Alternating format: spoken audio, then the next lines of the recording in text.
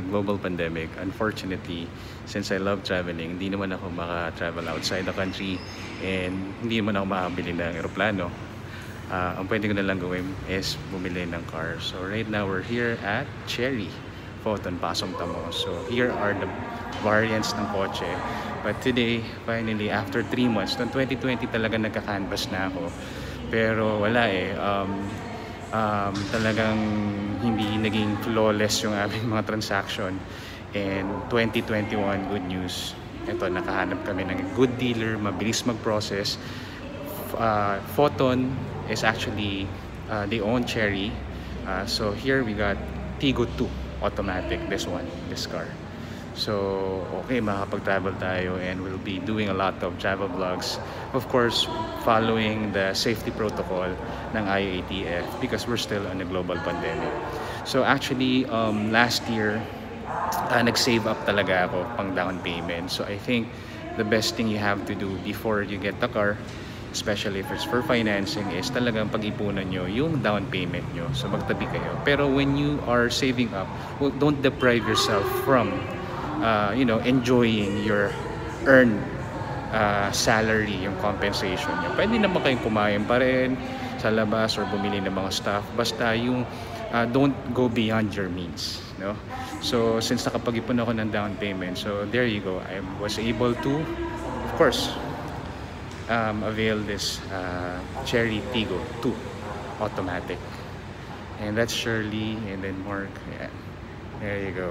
So guys, if you wanted to purchase cherry uh, variants, this is Shirley Bolante, right? Yes, Shirley Bolante. Hi, vlog. Ayan. And she's very nice. Na, bilis ng process. Maayos kausap si Shirley. Ang dami namin nakausap ng mga agent since last year, mga since September pa. Pero si Shirley lang talagang very flawless. At saka yung kanyang manager, si George, maayos kausap. So, um, really the cherry variants car uh, really are talagang nag ano na upgraded na talaga no yung version right now. So Sir, here is the Cherry Pasong Tamo Makati po. Correct. So this is Cherry Pasong Tamo.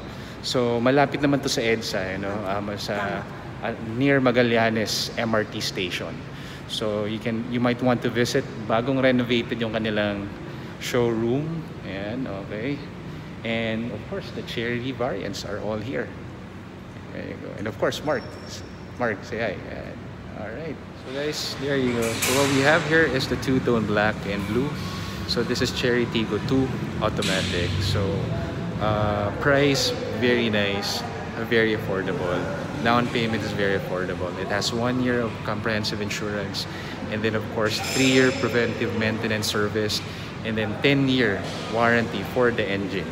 You know, and then also of course they also have roadside assistance. Um, service, yung pag-process online. Ang bilis ng process namin. Uh, so I'm really happy with the agent, uh, Shirley, and also their manager, George, here in Cherry, uh, Pasong Tamo branch because they have been really nice and they made really, they're so professional. And I asked a lot of things about the engine earlier and they were able to to uh, give me a lot of insights, uh, give us a lot of insights of how the, uh, you can really maximize the use of the, the car, especially if you travel, you know. And then it also has an ABS, automatic brake system, you know, just in case na magka-problem, uh, maliliko mo pa rin yung manibela. And of course, automatic mag-hazard siya para yung mga kotse sa, you know, sa likod, just in case you're driving along the road, is ma ah, magiging aware sila na there's something wrong uh, with your car. So, but of course, you know, if you're using your car with good maintenance, you bring it to the casa, and of course, you're taking good care of it. Now, I'm pretty much sure it's gonna last long, no? So there you go, guys.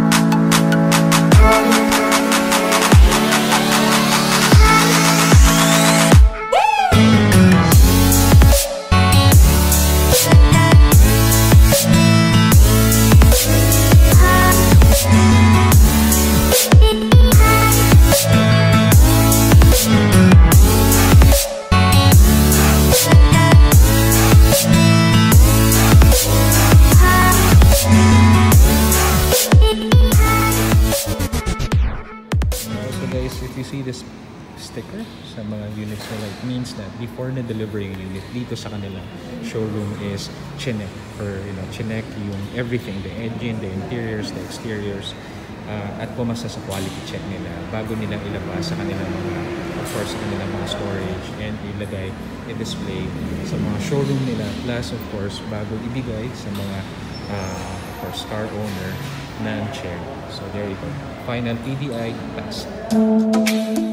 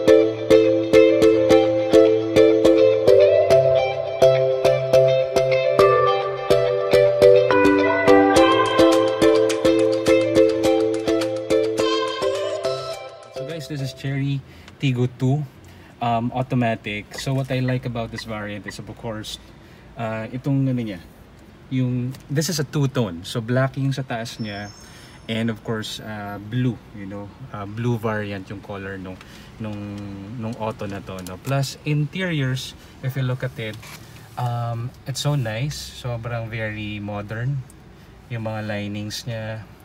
Okay, there you go. And including the seat. So yung seat, unlike other cars na nakita namin, ah talagang medyo fabric. Ito, I think this is leatherette. No? And very comfortable naman. Tapos, what's also good about this is of course the uh, this infotainment. Uh, I'm not sure if this is 7 or 8 yata. No? So later on, hintay lang natin Shirley, kinuha lang yung coach, yung, yung susi. No? Plus of course the buttons and the, the steering wheel and this buttons as well. The USB power outlet, you know. So there you go, handbrake. I go here. And I also love the key. You know, it, it reminds me of my Mazda a couple of years back. So all you have to do is just do this part and kahit na nakasabit siya sa sa jeans nyo, at least hindi nakalitaw tong part na to, no? You can still uh, you know, put it in this mode, no? Sa trunk and of course yung lock when you of course leave the car. Uh, unlock and of course yung lock, no? So, let's try to uh, okay. All right. There you go. Of course, the cherry emblem. Oops. This is touch screen. This is Surely, ano to? 7, ano ba to? 7 inches ba to? Or anong size nito? Um, wait lang sir. Ah. So, there's an FM and AM. So, there you go. Oops. Okay. Um, wait lang sir. And? And home. There you go. So, you can actually, I think you can connect your phone here. You can do the radio. And um, this is, you can actually Eight, play. sir. Eight inches. 8 inches. So this is an 8 inches na infotainment. So sa mga bagong car ngayon, talagang uso na talaga yung touchscreen. And then at the same time, Android and iOS, no? Android, Android and iOS na po siya. Yes. CarPlay. Alright, so CarPlay, Android, and iOS. So if you're using iPhone or, if you're using Android phones, then definitely you can connect it here. No? And then also, um, meron tong ano, di ba? Ah, yung sa backing na... Ah, si, um, rear camera. Ah, rear Yes po, camera. Saan nga dito yung ano? Yung rear Yung, camera. ah, yung rear camera. Ano lang po sir. Settings po. Settings, setup. Ay, sorry. Ano lang po niya. Sige po. System. Uh, car info. So, so alright. So of course, yung aircon is very nice as well. Um, what I also like about this one is yung handle niya dito sa part na to. Okay. So yung handle. And of course, the different buttons. Child lock safety. You can put a tumbler over here. Okay. And of course, you can navigate the buttons over here as well for your side mirrors. Okay. And of course, uh, digital na mismo na of course yung indicator sa dashboard niya. Of course, fuel consumption, yung sa uh, buckle mo, and of course, yung speed, battery as well. Okay. So, aircon is nice. And it also have it also has a vanity mirror. Okay. So here, light here, over here, and then you can also do that. Now if you want, sabay yan. This one, di ko pa alam. So, uh, so clearly, uh, marami talaga siyang buttons na, na pag-aaralan pa namin for us to really maximize or for me to really maximize the use of this car. But this is a crossover SUV and very, very affordable in the market. Plus, the monthly is also very affordable. Hindi ako magaling sa mga makina or what, but I think this is 1.5. Um, later on, you know, siguro makikita natin iba-ibang specs niya. And, uh, but since I've been driving since 2013, I must say, you know, kasi before my, my car was Mazda, um, I also had Hyundai, and then also um, Toyota. Uh, we also had family namin. We have, of course, the Mitsubishi Adventure, and then my brother has Kia. So lahat yung na-drive ko na. Even was able to drive Subaru 4x4 sa Bacolod. So um, so this is really a level up kasi before my car are really more sedan. Uh, but this time, since nasa Philippines tayo, yung mga baha, so of course gusto natin medyo mag-level up na tayo, medyo mataas naman. Like lang, hindi lang mga Fortuner or uh, yung mga mas matataas kagaya nung isa sa kabila. But this one is clearly a good deal already, a good buy already with all of the specs, with all of the buttons, and the interior is, is really nice. Plus, of course, this is a crossover SUV, very affordable, and the service is very fast. But uh, of course, the parts and services it has three-year uh, preventive maintenance service. Um, of course, one-year insurance, and then of course sa LTO may coverage. Like, no? So side mirror, may ilaw din siya sa gilid para pag nagdadrive ka sa gabi. Normally kasi na-experience ko na na pag nagdadrive ka sa gabi tapos minsan yung mismong side mirror mo tinatamaan ng ibang kotse. But this one, it has a light already.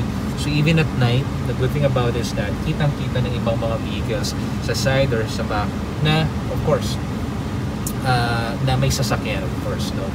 So, aircon, uh, malakas, no? Um, so that's the AC. Okay, it's nice. Course, yung adjustment kung saan natin gusto ma mag-flow yung air yung air niya. No? And of course, the hazard. Yeah. Alright.